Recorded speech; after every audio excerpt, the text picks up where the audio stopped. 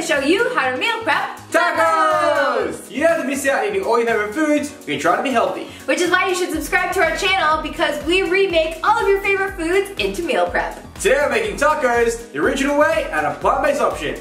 So, let's get started.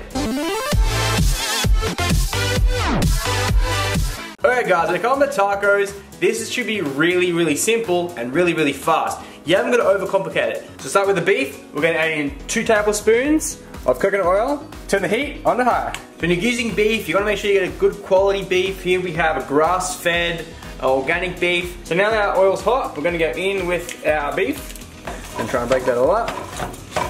Once it's broken up, we're going to get in with our spices. A teaspoon of cumin, a teaspoon of paprika, a teaspoon of oregano, a teaspoon of cracked black pepper, and a teaspoon of salt. Continue mixing it all together. All the fat in there is going to help retain the flavour and stop the meat from drying out. All those flavours going to come together in the pan. Beautiful. Continue browning the meat and breaking up all the big chunks. Once you can see that all the meat is browned, you can turn off the heat. So now I'm to show you guys the plant-based version, which is also the much cheaper version. We bought this beef, it cost us $7 to buy the beef, but when you buy black beans, it has the same amount of protein the same amount of weight, and it only is to cost you $2. So what we're going to do is we're to start by draining our black beans. Place them into a bowl. Now we're going to use flax seeds to bind the black beans together. So we're going to get a quarter of a cup, place it into our food processor or a blender, anything that you got, and we're going to turn this into flaxseed meal. Now you can see we've turned the flax seeds into flaxseed meal. There's also a cheaper way to make flaxseed meal. You can, instead of buying it already made, you can just do it yourself. So ideally for this, you can use a potato masher. I haven't got a potato masher. You also use a fork, but I'm just gonna use my hands. Get in there and squish all. Grab it in between your hands, give it a squish. Ooh, Make sure you wash your hands first, of course. that looks pleasant. Yeah. Now we're gonna go in with our flaxseed. Flaxseed meal, here we go, toss that in. Teaspoon of cumin, teaspoon paprika, teaspoon oregano, and salt and pepper. What are you doing? I got it all over my hand. oh wow. There you go. So talented. Oh yeah, that's what I was thinking. Four years, so of chef, talented. four years of chef school for this. Mash it all together.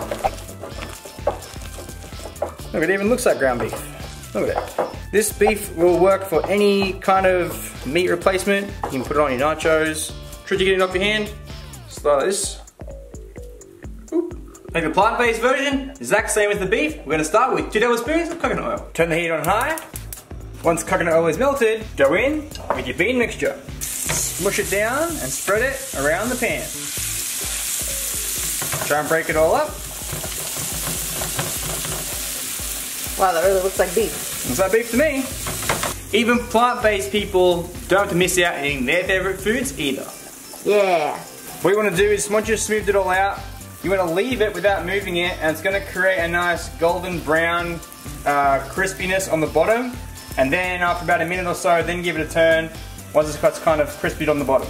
If you keep moving it, it's never going to get that crispiness, golden browny kind of texture. Once you can see it's all golden brown, you can turn the heat off and there you go. Plant-based beef. Nice. Doesn't look much different. If you want more simple and delicious recipes like this one that take hardly any time to make, then make sure you click the link in the description box below to grab our 12-week meal plan cookbook. Ooh, yeah. Now I'm going to show you how to play out the beef. Simply put it in the container. When it comes to toppings for your tacos, you can add whatever you like. But today we're to add lettuce, tomato, onion, avocado, lime, and some cilantro. Or coriander for the Australians. And to make it really easy, just chuck it straight into your containers. Dice your tomato. Next up the onion.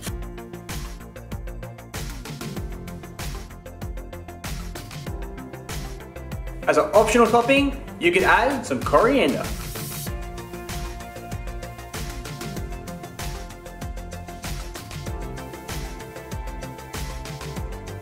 Quarter your lime.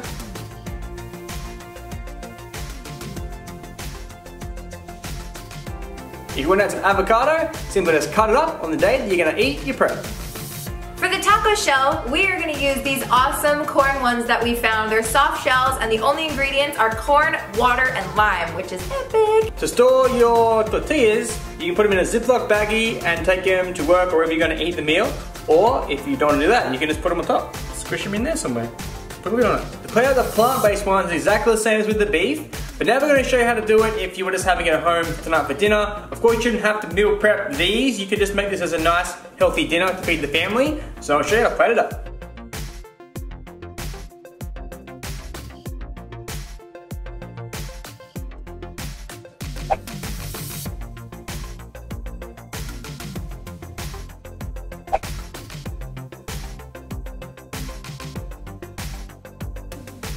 Of course, you could toast your tortillas uh, before you eat them or before you plate them up, or you just have them like this.